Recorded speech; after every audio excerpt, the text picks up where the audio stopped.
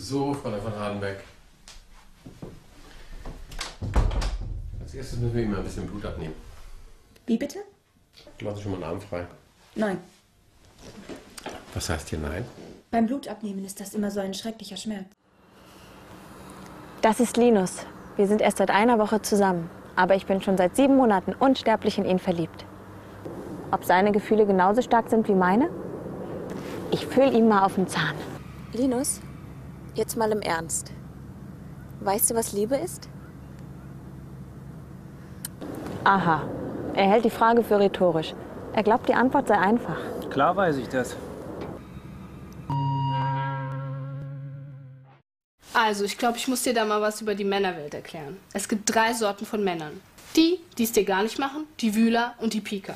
Die es dir gar nicht machen, erwarten von dir, dass du frisch rasiert ankommst und haben selbst voll den Busch am Sack. Das sind auch genau diejenigen, die jeden Abend einen geblasen kriegen wollen, damit sie friedlich einschlafen können. Na gut, einen Vorteil hat's ja, sind relativ ungefährlich für die Frauenwelt. Dann gibt's den Wühler.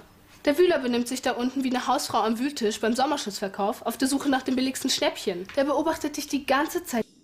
But it never happened before books began to be written for children during the last two centuries. Before that, children absorbed their culture's tales along with the adults from the village storage teller and the town or tribe's plays, dances, and festivals.